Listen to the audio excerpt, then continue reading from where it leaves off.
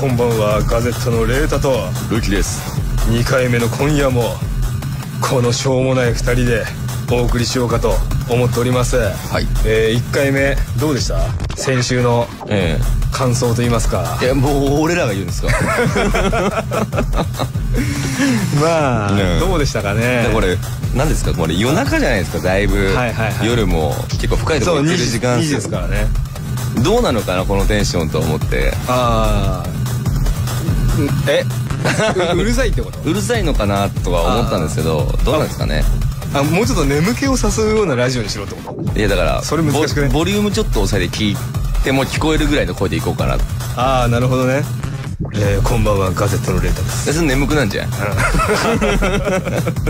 まあけ結局寝させないよってことなんですけどね。なるほどなるほ なるほどじゃねえよ、えー、今月のテーマバンドですよ。どはい。えー、ガゼットへの質問だけではなくバンドに関する一般的な疑問質問を募集してますと、はい。えー、送り先はメールはラジガゼアットマークインター FM.jp ラジガゼアットマークインター FM.jp ツイッターはシャープにラジガゼ897ラジガゼはカタカナでつぶやいてください、はい。そしてなんと今夜はですね先週お伝えした通りへえ。4月27日リリースされますニューシングル「アンダーイング」の初オンエアもありますと。楽しみにしててほしいですね。さあ何時台に飛び出るのがアンダイング。あの急に来るからね。急にもうあ寝そうって時に。誰が俺らが？あそう。急に来るかもしれないんで、はい。えーぜひぜひ最後まで聞いてほしいですね。逃さないようにしておいてほしいなと思うので今夜もお付き合いください。ではまずは1曲お願いします。ガゼットで「ベノマス・スパイダーズ・ウェブ」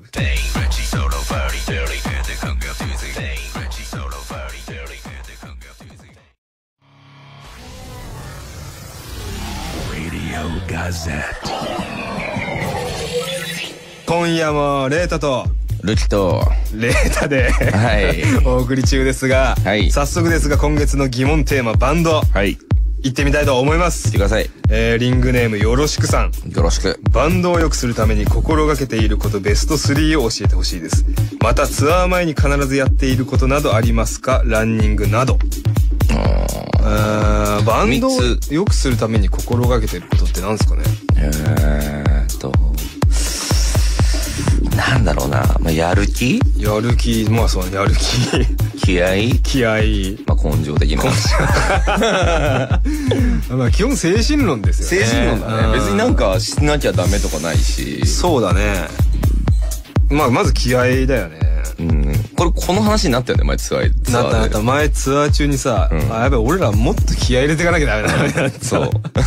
気合がやっぱ足んでないやっぱあのねあの大人になってくるとだんだんそういう言葉も使わないんですけどやっぱり基本的に気合入ってれば何でもいいっていうあのそうね。あで、ちょっとねえっ、と先輩たちの、うん。えーライブのね、えーうん動画見たりしてさ。そう X ね。うん、やっぱ気合が半端じゃねえなっていややっぱ気合なんだなと思った。うん。いや俺らもこれ気合バリバリでいこうなと思って。だから YOSHIKI さんとかが気合い入れてけよっていうのはまあよくわかる気がしますね。うん。気合い入れてこうと思いますね。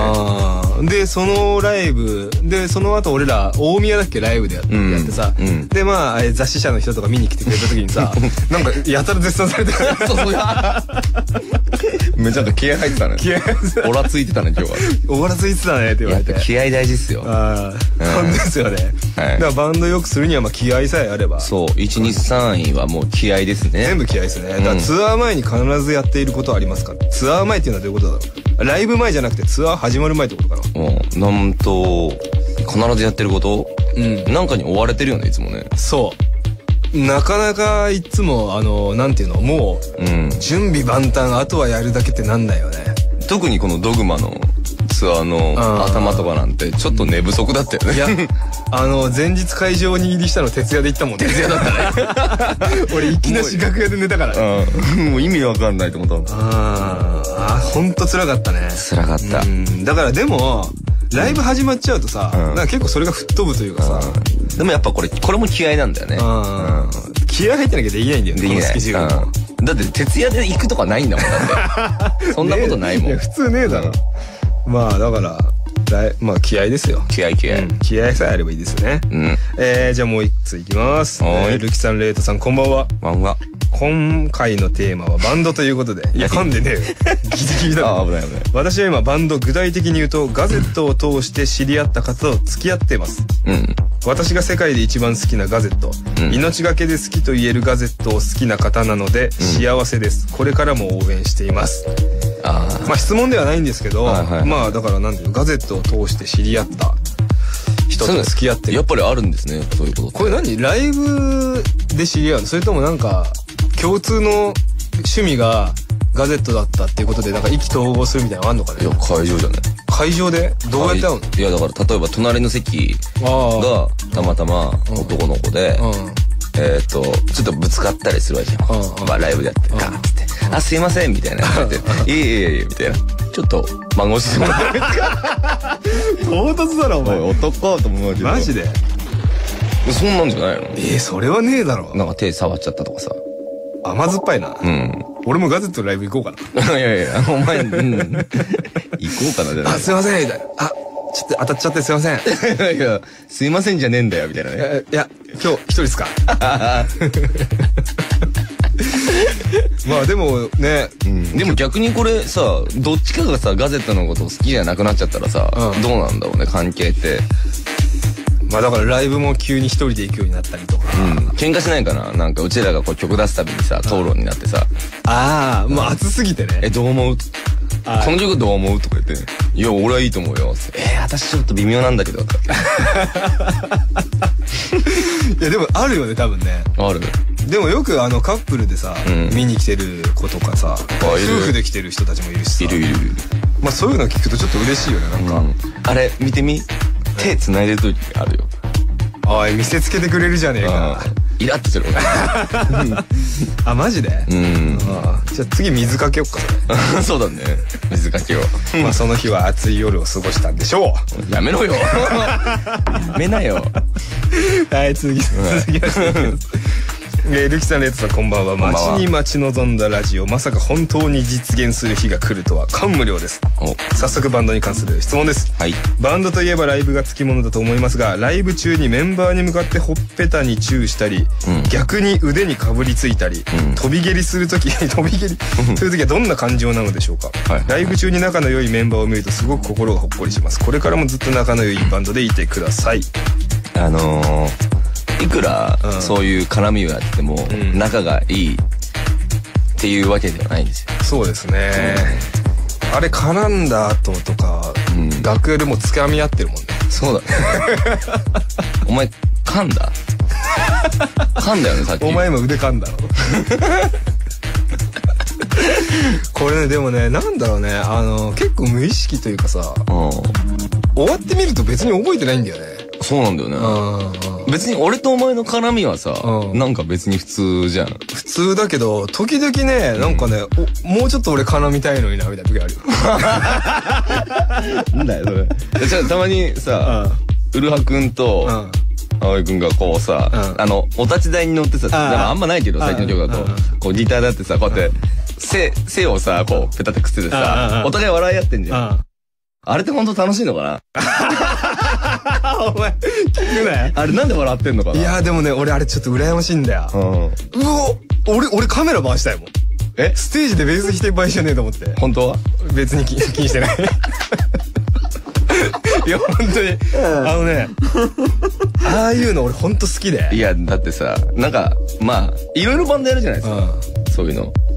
だからあの「トゥモローネバーダイとかはいはいはい。さえっとウルハのギターソロのとこ、うんうん。俺もう普通にガン見してるもん。何が？ウルハがギターソロ弾いてる時。嘘だよ。あと「ウルハー!」って言うよ。マジで。本当？本当？ごめん嘘ついた。お前帰れもう。いやでもガン見はしてる。ああ、ガン見はしてるね。うん。あとさあちょいちょいさ、うん。何の曲だっけな？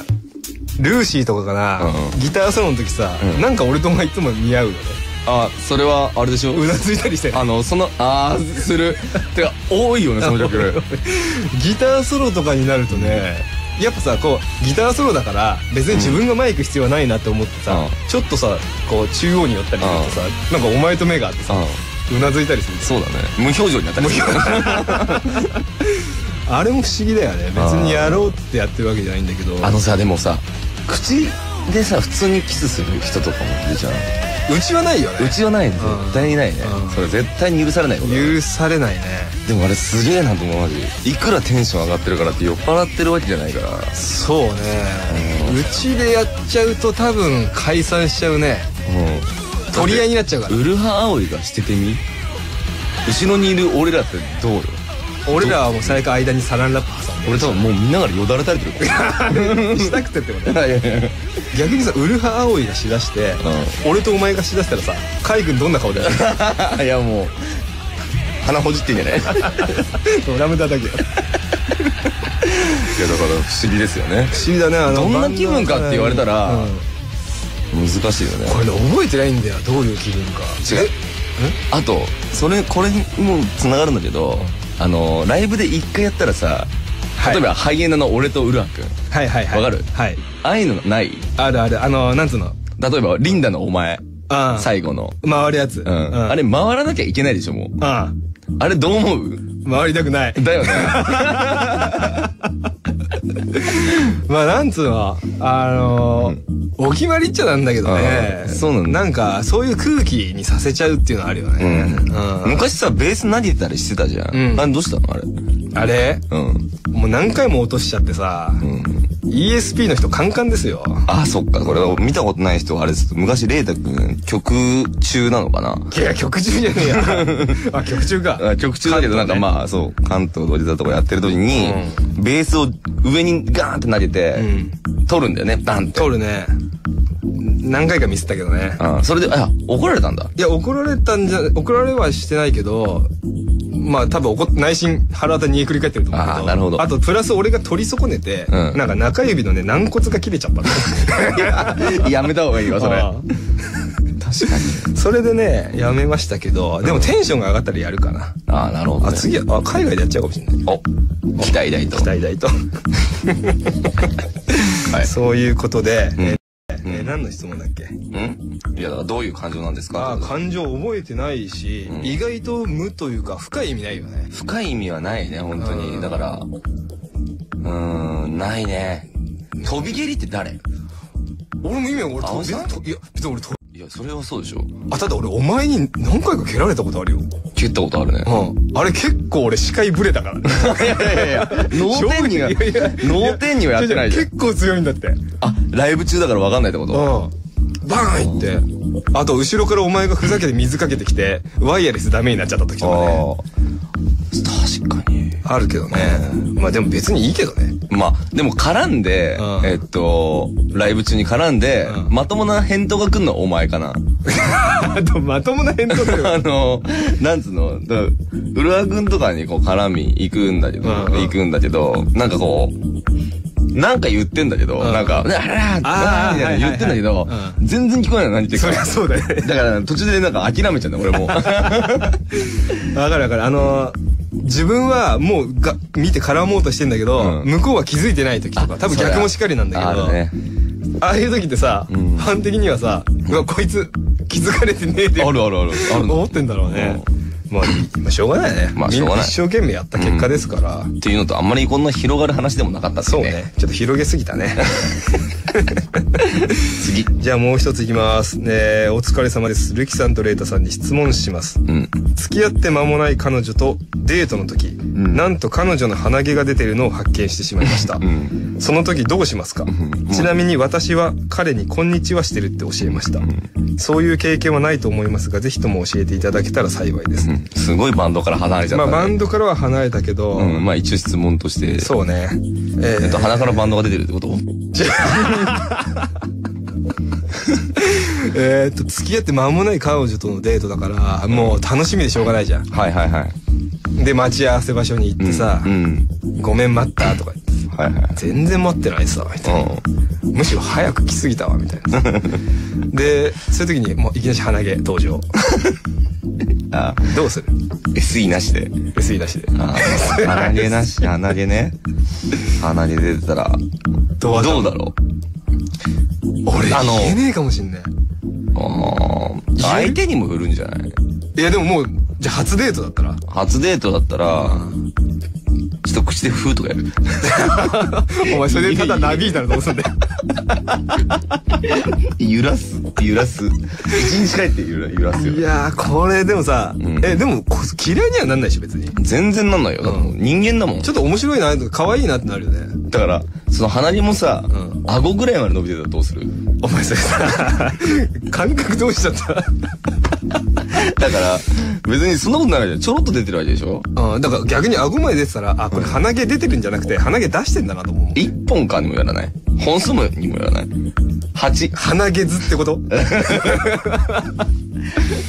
いやー、あ俺あまりにも出てたうら、ん。いや、でも、うん。その彼女もトイレ行った時とかに、明らかに分かっちゃってんだよ。うんうん自分で、あれと。あ出てるとかじゃない。うんだから、それで、なんかもう、まあ、次来た時に、うんもう、なくなってんの。でも、明らかに出てんだよ。でもそれ、ああ、言わないでくれたのかなっていう、あれを思われるのか、それとも、でもさっと、おいと。あーでも、言って、うんあの、場が和むような子であってほしいかな。ああ、そう。だから、やっぱそれだと思うね。なんか言って、んもう気まずい、会えないってなる、だったらもうそんな鼻から、のもう無理だよ、絶対無理。鼻から、もう鼻毛だけに鼻からダメだよね。ああ。でも俺だったらね、あれだね、まず。俺今曲行くところだったじゃないのやめろよ。一緒に写真撮って、ちょっと写真撮ろうぜっつって二人で撮って、うん彼女のところ拡大して、渡す。性格悪いわ。ちょっとコントラスト入れてちょっとさ。そう。やめなさいよ。まあ、多分言えないね。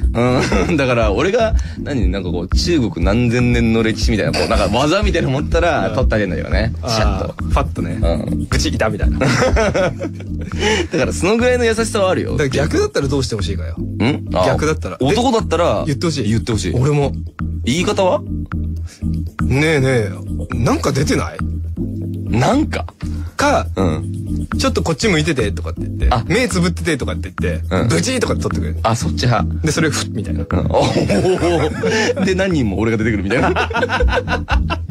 はいや、意味わかんねえから。い。だからまあ、うんちゃんと、こう、気を使わず言ってあげた方が、お互いのためにはいいから、いやそのフランク俺もそう思うな関係になれるようになる。だってもし逆の立場で、じゃあデートが終わって、じゃあね、バイバイっつって家帰って、鼻毛バッサー出てたら、うん俺もう死ぬほど後悔する もいや、そうでしょ。いや、だから、だからもう、なんか、変なタイミングじゃなきゃよくない？別にそれ。すごいさ。ああ、ちょっといいムードの時。いいムードの時とかさ、まあ、それは見て見ぬふりな時もあるけどまさ。見てみんなが見てお、おみたいな。ああ、これはね、多分世の中のあるあるだよね。あるあるだよ、多分。でも言ってもらった方がお互いいいと思います。うんうん。多分そう。だから言ってこ。うん言ってこうん言ってきましょう。はい。じゃあもう一つ。はーい。えーリングネームよっぺさん。うん。えーバンド歴が長い皆さんは普段の生活の中で職業病だなと感じることはありますか？職業病だと感じること。あのー、一週間以上休みがあるとうん不安になる。ああ、はいはいはい。わかる。あるうん。休みくれとか言うくせに、うん一週間休みだとう、んちょっとなんか、取り残されてんじゃね一。週間もう何か、もう、そうか旅行とか行ってんだったらまだいいんだけど、うあのー、不安だよね。不安になるよね。不安。あとね、俺はね、よくね、こう人の PV とか、んライブとか見ると、うん。どうやって作ってんだろうなとか、いくらかかってんだろうな。うわ、それ、それわかる。と特に最近でしょ。あ映画見てもさー、その裏側、メイキングを想像しちゃうんだよね。わかる。それはね、良くないよ。そうなんだよね。あ何見てこう純粋に見たいんだけど、そう、俺この前、あの、映画館行って、あれ見たんですよ。あの、バットマン VS、スーパーマン。スーパーマン。で、あれ、あれだったんですよ。あの、IMAX、4D はいはい。で見に行ったんですよ。はい。その、なんつうんだろう、こう、いろいろなんか、ファーとかさ、風とか来るの風とかって。で、その匂いがついてるの、なんか、何の匂いするなんか、匂い、匂いがある時とない時があるの。でもその匂いがなんか、情景と合ってなくて、とか、誰がチョイスしたあの誰目線で揺れてんの？これっていうあ時とか。必要ない時？うん。あの、車乗ってるんだけど、別に、こっちが車でなんか別に吹っ飛んでるわけじゃないんだけど、ん相手側の吹っ飛んでる時も、こっちが揺れちゃってるみたいな。あーまあはい今イヤホン取れましたけど。はいはい。音鳴りましたからね。ああそう。ね。あれのはあるね。あれさど何？椅子が揺れてる時ってさ、うん。あの見てるお客さんはさ、うん。キャーとか言うの？いやないないないないない。あのそんなにガーンって感じじゃないよな。あアトラクション的なんではなくて軽く？あーあのねあのディズニーランドのスターツアーってわかる、うん。あのえっ、とスター・ウォーズのやつ。してるしてる。あれのちょっと水出てくるやつね。そうそうあれの弱い版って感じ。ああはいはい。あれはでも結構面白かったよね。でもあれは多分今後もっと多分パワーアップしてったら、うあのアトラクションですよ。ん？え？アトラクションですよ。そうね、うん。でもまあかなり映画が限定されるよねそのあそれができる映画。あとあのー疲れる目見てて。結 構えそれさオフそれがそれをオフにすることはできないでしょ？できないね。あの目外すと、うん。もうあのあれじゃないんだよでも赤と青のうん。緑とかのやつのあの、あ俗に言うあの 3D じゃなくて滲んでる？どっちかと。ああ感じですね。えじゃあさあれをさえーっとなんつうの？もともとそういうアトラクションがないうん。映画館で見れればいいわけだよね。そうそうそうそう選べるから。え選べるってことだよね、えそれちなみに値段は同じなんだ？ああ覚えてねえすげえセレブ。で なやめろや。まあ、ん。そんなこんなで、うんえっ、とあの前回イエローモンキーさんのねはい。曲流させていただいて、はい。あれ？なんかまたあれですか？なんか違うもの流すんですか？今日は今回ね、うん。僕のお気に入り流そうかなと思って。なんで何それ何を気に入ってるか言言ってもらっていい？なん何を気に入ってんだろうさ。あのなんていうの？あの曲ってさ、うん。いきなりボーカルのうん。カウントじゃん。ああそうだね。うん。斬新じゃね？うんちなみにいつ出会った？高校の時。ああやっぱそうだね高校1年の時に、うんオフスプのスマッシュってアルバム買ったの。あ、もうオフスプって言っちゃったけど。あ言っちゃったけどねスマッシュ買ったのよ。うんそれでもうハマっちゃって、うわ、かっけーと思って。そうだねあのあの時あの頃はそうだねうん。で、あの頃オフスプ、うちの学校の中でオフスプか Green Day で分かれてたね。ああなぜか。なぜかその二つ。分かれる必要性もないバンドだよね その二つって。なぜかその二つで派閥が分かれてて、もう完全にハマっちゃったね。まあそうですね。うん。だから、多分ね、これ聞けば、うん。オフスプ知らない人もどっかで聞いたことあるああと思う。そりゃそうかもしれないね。うん、なんかちょっとこうレースとか、うん。スケボーとかの絵が浮かぶと思うんで、ああそうだね。はい、ぜひ聞いてほしいなと思います。それではオフスプリングで All I Want。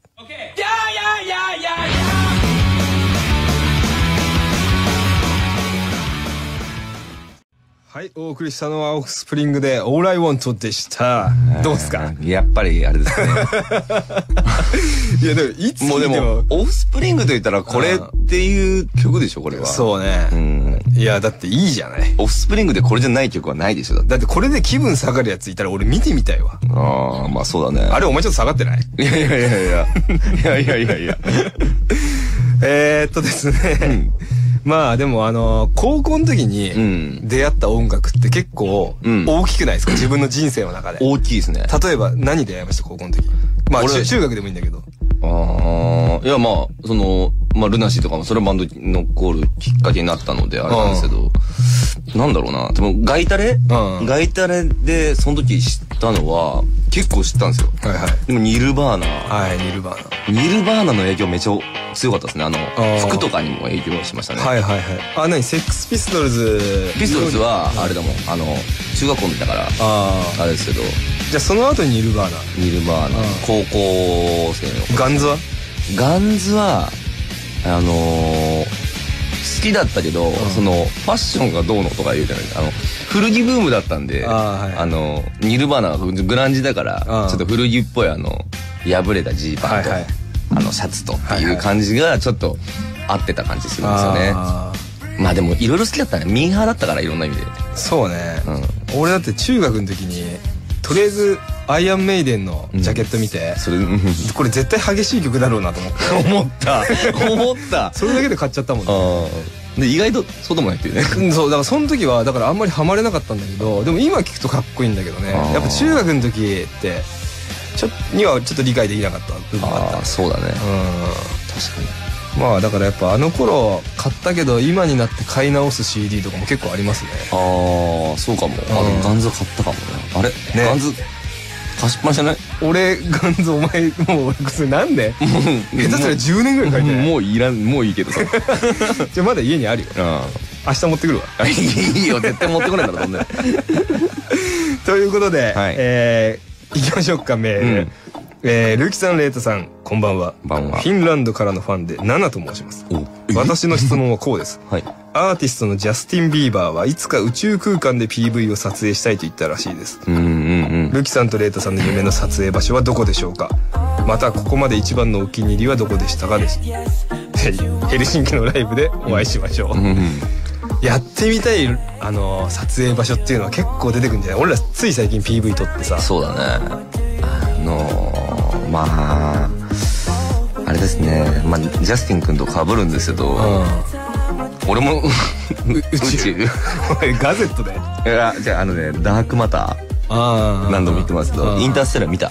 インターステラーは後で見る。いや。全然見ないんだなお前。あー撮影あの日本ってさ、うん。やっぱ狭くてさ、うんでやっぱどっかしら誰かが撮ってるって絶対あるじゃん。誰も撮ってないとこってもうなかなかないじゃない？とか有名なところは PV で出せないとかねそうそうあるじゃないですか。だからさ結構ハンデなんですよ。ハンデだね。日本で PV 作るのって。そうなんだよね。だからこうなんだろう。まあ荒野とかいろいろあるんだけど、行きづらいとこだったりとか行きやすいとこでもなんかこう立ち入り禁止とかいうね看板がバンとかあったりするんですけど。まあこれがね海外だともっともっと山ほどあんじゃねえかと思うけどままああ現実的じゃないっていうね。現実的じゃないですよ。でも夢として叶えてもらえるんだったらその何？ダークマターですか？ダークマターとか。ダークブラックホールですね。えおしん生きて帰ってこれなくないそうなんだけど映したいじゃん。でもきっとそのえ映したい人いっぱいいるわけでしょ？本当存在すんのそれっていう。だって空間に穴開くんだぜ。うんあれさどういう原理なんだろう？だからもうそういう原理とかじゃないんだよ だからその原理がよくわかんないからみんなあれなんじゃない？だからインターステラー見てよ。インターセル見るけど俺。だからインターステラーはその科学者たちがそのそういうまあその研究結果をもとにダークマターをこう実現実現化こうっていうかまあ映画化してみてこうやってみたみたいな。本当にリアルなうん。まあそれもね描写になってると。どうなのかはちょっとわからないけど詳しくないから。でも科学的根拠に基づいて作ってるってこと？じゃないかなあああのさ宇宙俺宇宙まあまあ好きなんだけど嘘つくなよお前なんでだなんでここで嘘つくんだよ。いや宇宙について時々こうウィキペディアとか見るとすげえ虚しくなるの。あれ？なうん？星のでかさ？違そう星のでかさとかあ星なんつうの？もう無限なわけじゃない、うん。でさ地球の40何億年っていうはいはい歴史とか考えたらさ、はい。俺らのこの今13年14年間っていうのはさ、へにもならないわけじゃん。えそうだね。おじゃあ俺たちはなんでやってんだうん。どう思う？いや思いますよ僕も。いやだってさなんつうのこう地球はさ丸いって言うけど、ん。なんかさちょっとさ実は円じゃなかったみたいな話ちょっと出たのよ最近。嘘。嘘だろと思ってさ。だって宇宙船で見てるわけじそう。ゃん。でも円実は円じゃないみたいなえ何そんなそんな覆すことあっていいのと思うじゃん。うん。だから踊らされてるわけじゃん常に。あの釈迦の手で踊ってるさ。うんあもう完全にそうだよね、うん。だって地球のな地球はただ球体の中に地球が入ってるだけかもしれないしね。うん、でもなんかこの話さずっと続けていくとさ、学年のバレそうじゃない？やばそうと思った今。やばそう。アホっぽいから何も分かってねえなこいつらみたいになりそうだから。じゃあ行きましょうか。えー、祝レギュラーラジオ毎週の楽しみができました。はい。早速ですがテーマにちなんだ質問です。うん。ライブ中客席からの声ってどのくらい聞こえてますか ?1 月のラジオでメンバーの名前を言った後に魔の3秒間があるよねと話されていましたが、はいはいはいそれを聞いてこっちからの声が聞こえてるんだと急に恥ずかしくなりました。はいちなみに客席側としては、魔の3秒間は非常に気まずいです。うんメンバーコールするのって意外と勇気がいるので、でもその声がステージ側に届いてるのなら嬉しいです。まあ届いてるよね。届いてるしねもう響き渡って響き渡ってるよね。あれ恥ずかしいんだねあ、俺恥ずかしいってのは俺初耳だね。うん俺も初耳かもえ？あいや違うその魔の3秒間で恥ずかしいんでしょ？魔の3秒間っていうのあのさ、コールした後に急にさ、シーンとなっちゃう3秒間のやつでしょ。うん。あれはこれやっぱ日本人の独特なところだなと思うああ、そうね。後に続かないみたいなとこあるよね。どうなんだろうと思うよね。あのシーンとするじゃん。特にバラードのアドとか。でもねあれね難しいと思うよね、うん、やっぱこう空気を読むっていう文化もあるじゃない、うん、俺的に言うと、うん、あのシーンとした後に声が出てきた、じゃあ例えばその魔の3秒間を出現させるその一声があるわけじゃん、だあの人のタイミングは間違ってない気がするんだよねあはいはいわかる、あのその人が行った瞬間にちょっと続くじゃない、そこで、なんか俺らも、やっと前向きやすくなるみたいな。そうそうそう。うん、一番まずいのが、その魔の3秒間を作った周り。うん、確かに。うん、これは怖いですよ。あれ難しいね。うん、自分だったらどうかなと思うけどね。そうだよね。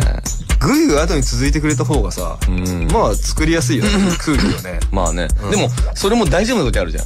意外とね、だ場所に言うんだけどね。あれわかんねえんだよな。ダメな時あんの。あれ不思議だね。うん。だからなんかさ、お前が MC 始めるときに、うん、これなんか始めづらそうだなって肌で感じるときあるんだよね。いや、あるでしょ。それはね、すごいあるんだよ。だから、うん、かいみたいなさ。ああ、はいはい。いやあれ、あれの中でもう俺の中のやつでは一回途切れるんだよね。あはいはいはい。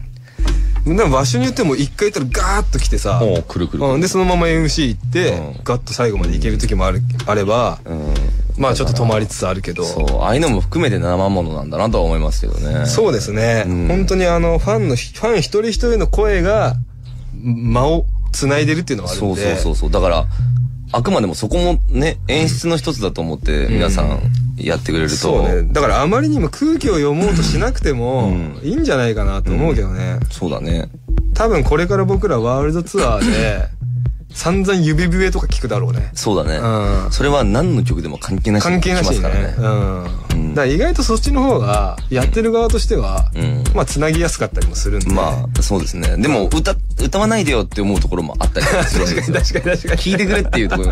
その、そこは難しいところなんですけど、うんうんね。あるある。まあ、その、日本の人のこの聞いてくれるって姿勢はすごいいいしね。いいけどね。やっぱり。うん。いいけど時としては、ちょっと次に行きづらい時も。もうある。あるけど、うん、まあでも全てはぼ、まあ僕らの責任ですよね。まあ、その空気を作る、ね、そうなんですよ。すいませんっていう空気を作っちゃったんだろうね。頑張ろうかなとは。今度からもうさ、ほら、礼に始まりとは言うじゃん、日本人は。うんうん、礼する？ライブ始まる前とかに。え幕が開いて、うんいきなり俺らお辞儀すんの？なんか、あんまいなくない？そういうの。まあ確かにまあ、やりたくないんだろうけどね。ああ。なんか、日本ならではのライブっていうのがあってもいいんじゃないかなああ、まあ確かにね。うん神戸垂れまくるって言ってもあるよね。え？え？神戸頭を下げまくるっていう。ああ。だから、まあでも土下座土下座俺らが土下座したらおしまいだねいやそうだね何もない何も残んない何にも残んない全てを失うということであのー、そろそろね、うん、今日何の日だっけ何の日ってあのアンダーイングいつ聞いてもらおうかなと思っててあまあ逆にこのまま来週にするって言ってもあるんだよあそれ汚い戦法だね。CM の後で的な。別にお前に任せるよ。何が何がだよ。やる？何をですか？アンダイング。アンダイング。うん。そう。そろそろ行きますか？行きますか。これでも、皆さん聞け、聞けてるんですかね？聞けてなんか、聞けてるこの前に知ったんだけど、その、やっぱ、なんだろう。ラジオ入んないからって諦めちゃうやっぱ人もいるらしいんですよ。アプリでも聞けますからね。うん。これ今すぐ友達に言ってほしいですね。アプリでも聞けるそうそう。だから今から、アンダイングそろそろ流しそうだよ。今すぐつけてって言おう。誰が？来週に持っていくなるほど、なるほど、なるほど。なるほどじゃねえ。これ感謝状出るってことだね、これ。もうお願いしますよ。はい。いいですか紹介じゃあ、ルキさんから。はいはい。えっと、じゃあですね、これ、初、初、オンエアですね。そうですよ。えー、ガゼットのですね、新曲です。はい。えっ、と、発売日いつでしたっけ ?4 月の27ですね。はい。はい、まあ、えっ、と、その前に初めて流すので聞いてください。はい。はい、ガゼットで、アンダイング。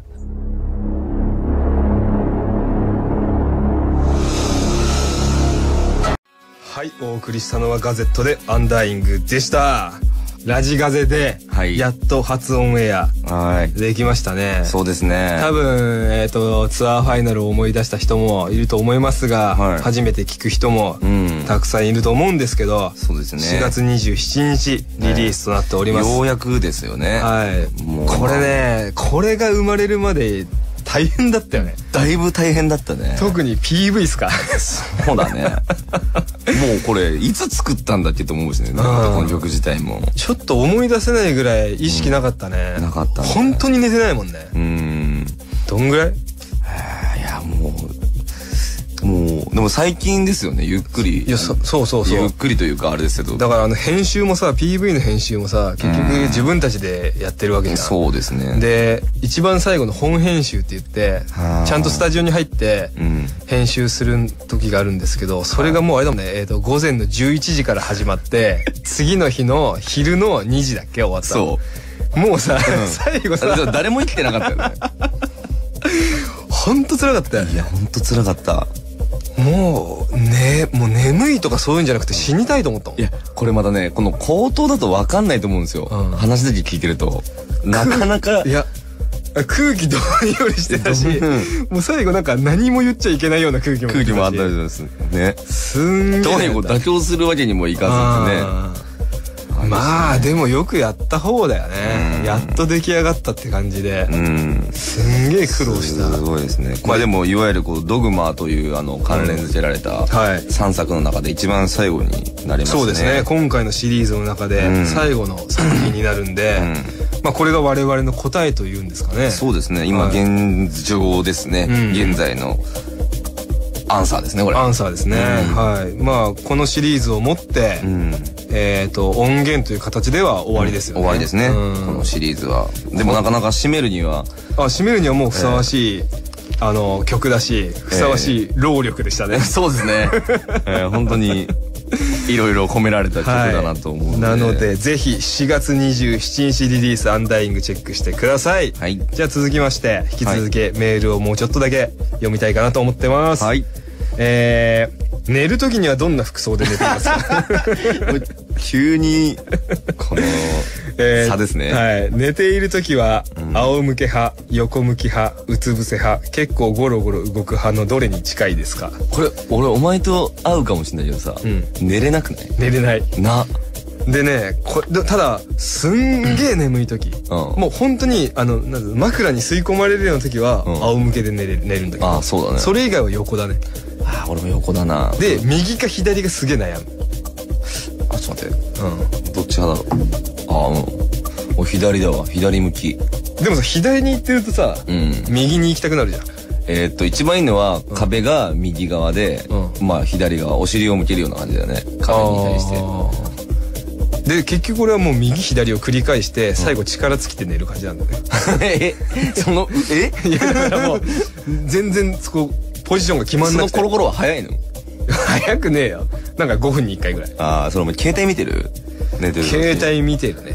あれ、寝れなくなるんだ寝れよね。なくなる。寝れなくなる。だから最近はなるべく小説とか読もうとするんだけど、うん小説読んで、うん紅茶とか飲んで、うん。寝る準備万端ですって時も眠れないんだよね。それでも、さ、思うんだけどさ、いつも、こうやって本読むじゃん。本読んでさ、まあ、電気ついて寝てるわけじゃんこの、あ、やべえ、眠くなってきたと思ってさ、うん本閉じんじゃん。でさ、電気消すっていう作業あるじゃん。うんそこで目覚めない。わかる わかるよね。あれ何なの？そうなんだよ。やばいやばい。だからもう寝そうって時は、寝ないと無理。だから、もう寝そうだけど電気消そうっつったら、もう寝れなくなる。うん。あ、今こんな話したら眠くなってきた。あ、そう、そう。だからね、寝ちゃいけない時眠いのよ。だあー、そう、わかるから今すっごい眠いのよ。うん。打ち合わせしてる時とかすっげえ眠いもんねあ、眠い。うん。マネージャー早く返してくんねえかなと思うもんね。うん。でも、でもマネージャーもそういう顔してるよね。あと一個どうしてもこれ読んどきたやつがあるんだけど、いいですか？あ、どうぞ。なぜランドセルを背負っていたのですか？これ多分聞いた人はちょっと何言ってるか分かんないと思うんだけど。なんかこれ、と説明こしてもらってれじゃ俺が、俺が街中で、な んか、うちのメンバーが街中でランドセル背負ってるところをさ、見てさ、ハーパンで思わずツイッターに書き込んだ感じじゃない？これちょっと説明してもらっていいですか？ランドセルね。はい多分言ってんのは多分、あの、初期のガゼットですよね。もうほんと初ライブぐらいですかね。はい初ライブ。うん。え、どんな格好してたんでしょうか？えっと、ハーパン。確かにハーパンだった。ハーパンにハーパンに、なんか何？変なルーズソックスみたいなあはいはいはいなんつうのレッグウォーマーレッグウォーマーに変な妙な厚底に、うんあのーランドセル。うんうんなんで？あれさ俺なんでっつってた？いやわかんない。急に？ただあのあの頃の曲のテーマにちょっといじめっ子いじめられっ子みたいなワードあったじゃん。あったあった。あんまし言いたくないけどさ、うん。それで、まあ。多分ランドセル背負ってたんじゃねえかなって思うけどあねーファーストライブで？ランドセル。あよよく止めなかったよね。もう止める隙なく背負ってたからねお前。止めようとしたら背負ってんの。楽屋で見たろ。俺が背負ってんの。いやでもなんかね新しいからいいじゃんって感じだったよね。いやなんか変わったことやりたいみたいなとこあったじゃうん。んなんかさその動画ってさあったりすんじゃん。ネットで探すとさ。ほんと勘弁してくださいよね。あれできないの消すことってそういう過去って。いやこれはもうファンの両親に訴えかけるしかあない。のガゼット結成して、うん。結成してから1年、うんあのーなるまでの、その1年で、結構見られたくない部分多くない？うん。あとね何一つ方向性が固まってないから、うん。ぐわんぐわん言ってたよ。ね。本当に。本当にいろいろお前の寝相じゃんないけどもうぐわんぐわん。グワングワンしてた。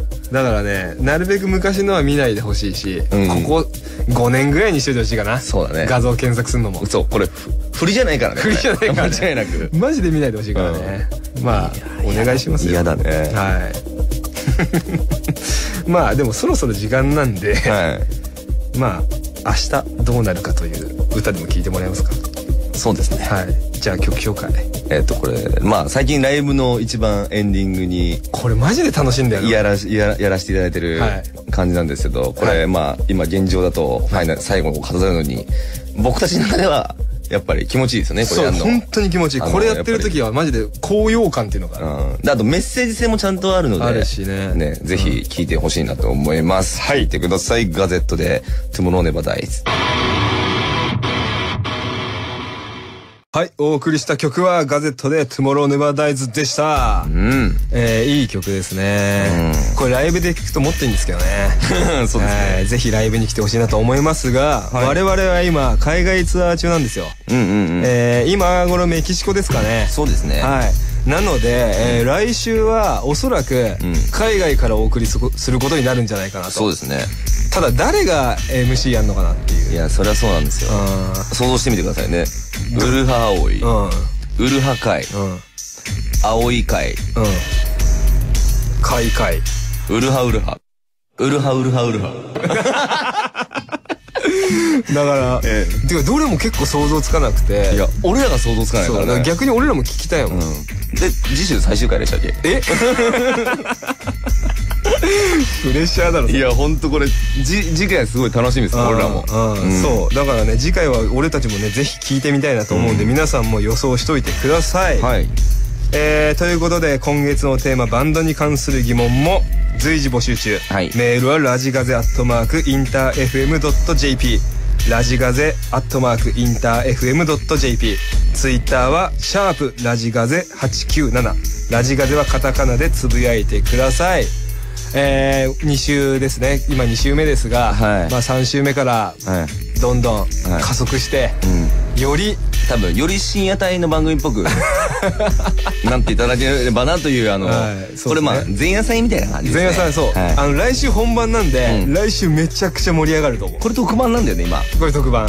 前、前、先週と今回で特番で、次からが、あの、ラジガで始まりますんで、真骨頂始まります。えーな期待しといてほしいなと思います。思います、い。来週は海外からガゼットの誰かさんが、はい。お送りすると思うんで、はい。また来週聞いてください。それではガゼットのレータとルキでした。バイバイ